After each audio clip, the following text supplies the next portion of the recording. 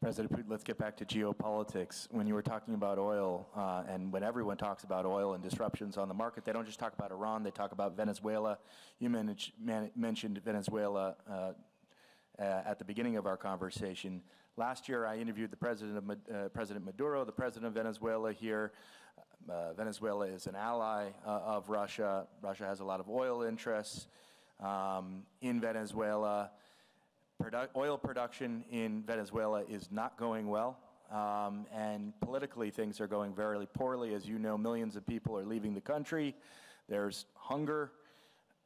There is a lot of talk in the United States, and not only in the United States, in Central and South America, that perhaps it's time for President Maduro to go. Do you agree with that? Это должен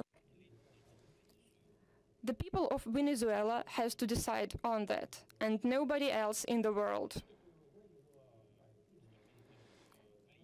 As for various instruments and tools to influence the situation in Venezuela, well, we understand that we all influence each other, but nobody should use tools that deteriorate the situation uh, of the civil population because we cannot be happy that that that people suffer there.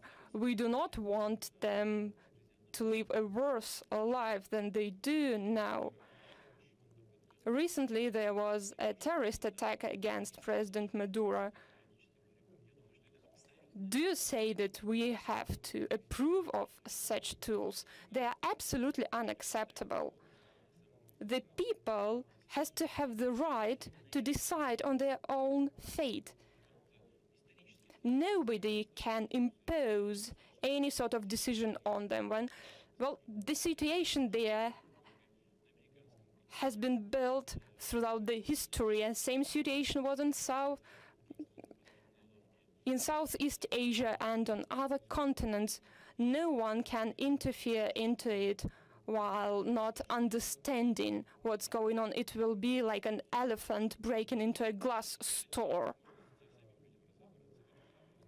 People have to decide. This is my take of it. And I wanted